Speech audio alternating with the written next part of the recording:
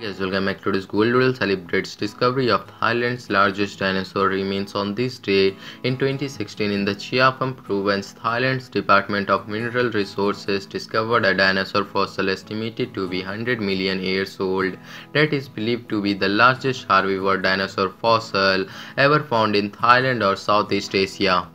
While out and about, a local noticed something quite unusual massive bones. He contacted the authorities, who then uncovered over 20 individual fragments of sacrum, pelvis, spine, and femur, all belonging to a single Titanosauriform sauropod species estimated to be anywhere between 23 to 30 meters, approximately 74 to 98 feet long.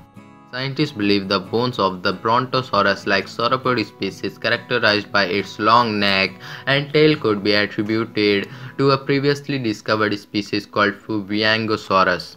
Sirindhornae, but the remains also could indicate the existence of an entirely new species which could be the largest to have ever roamed Cretaceous era Thailand. So guys, I hope you like this video. So don't forget to like, share, comment and to subscribe my YouTube channel and press the bell icon for the latest videos. So thank you.